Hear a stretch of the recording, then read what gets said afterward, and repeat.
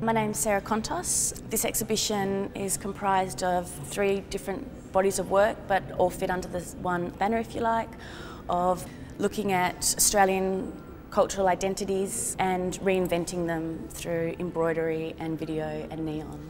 When I was doing my masters at COFA, um, I kind of got stuck and I wasn't too sure about what my work was about. Um, so I would go to the op shops for inspiration and um, I saw an Olivia Newton-John cover in um, one of the $2 bins and I was quite mortified that this is what she's ended up as. So from that I started to embroid over her face to kind of lift her up into another icon status, if you like, um, changing her known identity into something greater and something more. So I've done Barry Crocker, um, Kamahl, and it's usually Australians singing sensations, if you like, that are a little bit faded or outdated or a bit daggy.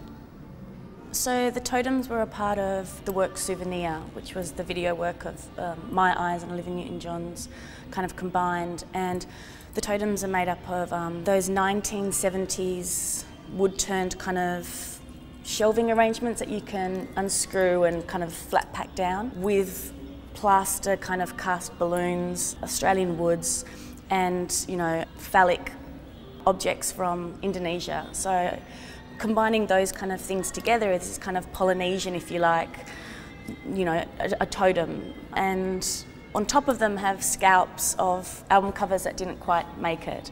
So it's almost like a warning or, I don't know, like it could also be like a gravestone or a, something like that.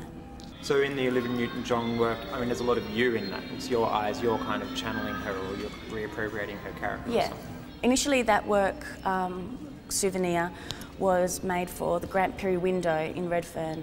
So um, I kind of wanted to create something that was moving, that passes by, uh, a work that was watching people, if you like, and so it had this kind of play between the object and the viewer.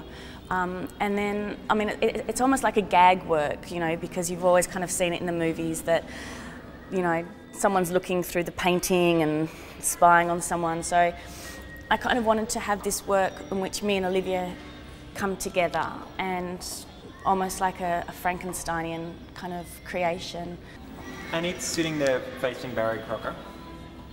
Yeah, so I kind of like this idea of man and woman, you know, yin and yang, but also they're kind of the same, so they're almost looking at each other, but they're not quite talking to one another. And I think they're quite strong works in themselves that they couldn't be anywhere near each other almost. So they're meant to be together, but at the same time they kind of repel one another.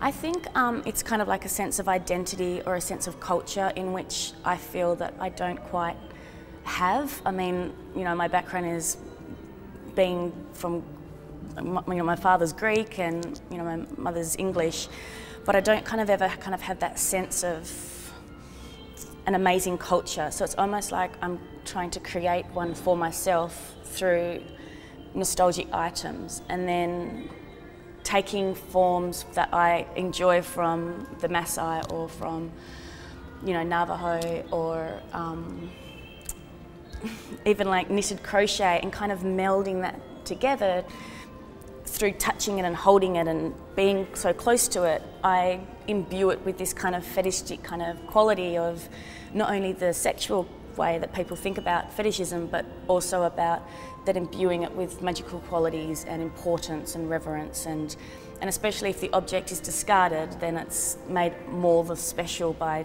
touching it and feeling it and holding it up. So yeah, I think that I like I like generous art and I like to kind of give that object a part of myself within making that because then I feel that other people will get the, will be able to feel it if you like.